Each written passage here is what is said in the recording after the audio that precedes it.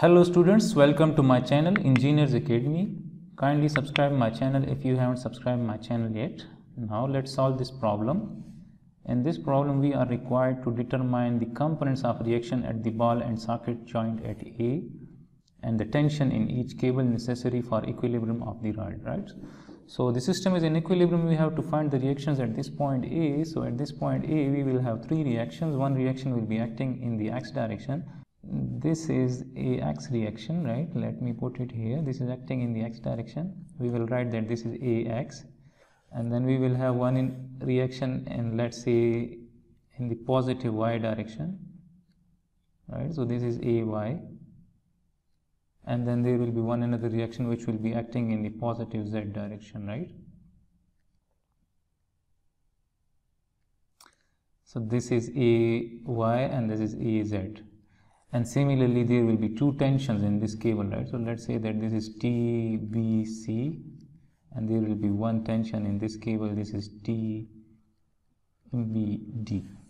right? So first of all what we will do is that we will find tbc and tbd vectors right? We will represent all these forces in a vector form right? So tbc vector will be equal to tbc magnitude into the unit vector bc divided by bc magnitude right so now this will be tbc and bc so from B to C, right? So what this is our unit vector from B to C, right? So to reach this point C, we need to travel how much distance? 3 plus 3, 6 meters in the negative x direction, right? So this BC vector will be minus 6i. Then we will travel 2 meters in the negative y, so I will write minus 2j and then 3 meters in the positive z direction to reach this point C, right? So we will write plus 3k. And the magnitude will be minus 6 square plus 2 square plus 3 square, right? So this is minus 6 square minus 2 square plus, right? So we will take square root.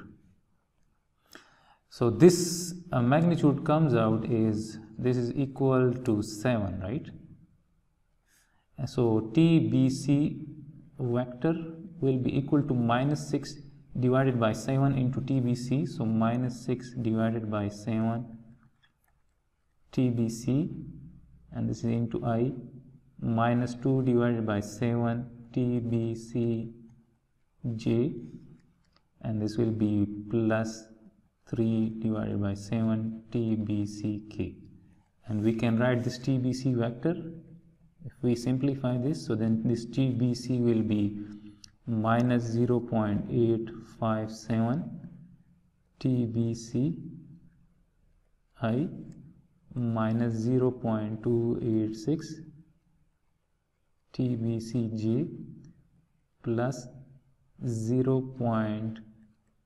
0.429 TBC and this is along K.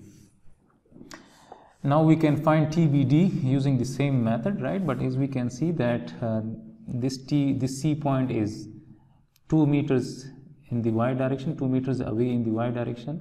Similarly, this point D is 2 meters away in the y direction. Similarly, this point D is again at the same height from the y axis, right? This 3 meters. And this point B is at the same location, that is at the 6 meter, right? So, what I mean is that this TBD and this TBC, both of these forces are symmetrical about this xz plane, right? So this means that TBD force uh, vector will be equal to this TBC vector, but only this TBD will have one component in the positive y direction, right? This TBD will have one component in the negative x and uh, whose magnitude will be the same, right? So whose magnitude will be minus 0.857 TBD I then uh, this TBC uh, one component of this TBC was acting in the negative y so one component of this TBD is acting in the positive y but the magnitude will remain the same since the dimensions are the same right and the location of C and D points are symmetrical about the z axis right so we can write that this will be plus 0.286 TBDJ plus 0.429 TBC and this is K, right? So this is our TBD vector. Now uh, the reactions at this point A, if we represent A vector, so this will be AXI plus AYJ plus AZK and similarly if we represent this uh, weight, right, this is the weight and this is 60 Newton R, this is some force, right. So let's say that we represent that force by W, right. So W vector will be equal to minus 600 j right since this 600 is acting in the negative k right? Since this is this is not j this is minus 600 k. Right? So now in this problem we are required to find this tbc this tbd and this ax ay and az reactions right? So first of all we will apply the summation of moment at point B equals to 0 right? So as we can see that this TBD and this TBC they are intersecting they are originating from this point B right? So they will not produce the moment about point B right? So this means that if we find the moment at point B so we have eliminated this TBC and TBD and both of these are unknowns right? Now as we can see that this ax is passing through that point b so this ax will not produce the moment about point b right? So we are only left with this az this ay and this 600 newton force. They are producing the moment about point b. So now we can write that the moment about point b is uh, if we find the moment of this az so the moment arm of this az will be from this point b to c right? So this will be the moment arm right? So this moment arm uh, if we represent this moment arm as a vector so then this will be minus 6i right? Since it is acting in the negative x direction and the magnitude of this is 3 plus 3 so this is 6 and this is acting in the negative x so we will write minus 6i cross and we will write it a z and a z is acting in the positive k direction right so this will be the moment of the AZ component of this reaction, right? Similarly, we will write plus and as we can see that the moment arm of this AY is the same this vector, right? So again we will write minus 6i plus AY and AY is acting in the positive J direction.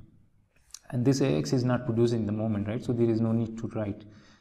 And now as we can see that this 600 Newton, this will be plus and the moment arm of this 600 Newton will be from this point B to E right? So this is the moment arm right? And the magnitude of this moment arm will be how much? So this is 3 meters right? And this will be minus 3 since we are going in the negative x direction. So we will write minus 3 I and cross.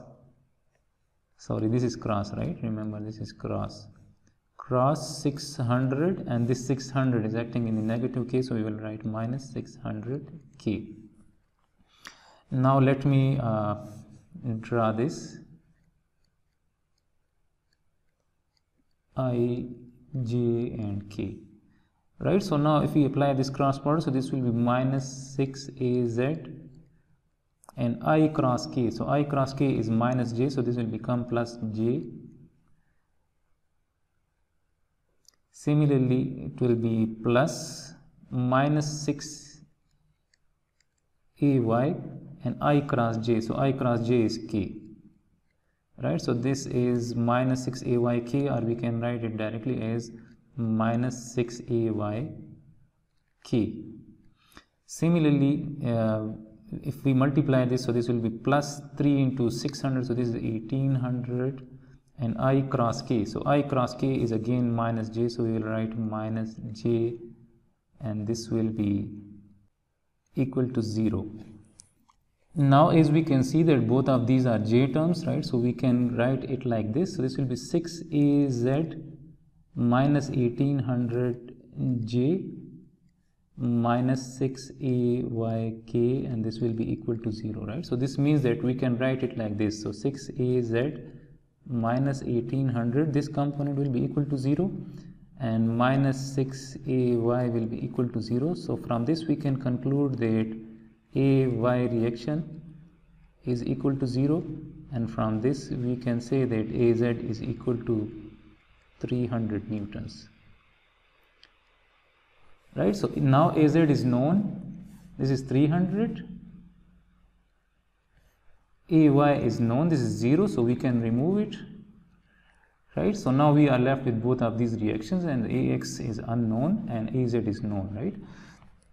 So now if we apply the summation of forces along X equals to 0 or let's say if we apply the summation of forces along y equals to 0 right? So now we have these uh, force vectors right? So along y we have this 0 point we can write that this will be minus 0.286 TBC the component of TBC acting in the y direction plus the component of TBD acting in the y direction. So this will be plus 0.286 TBD plus ay this component acting in the y direction.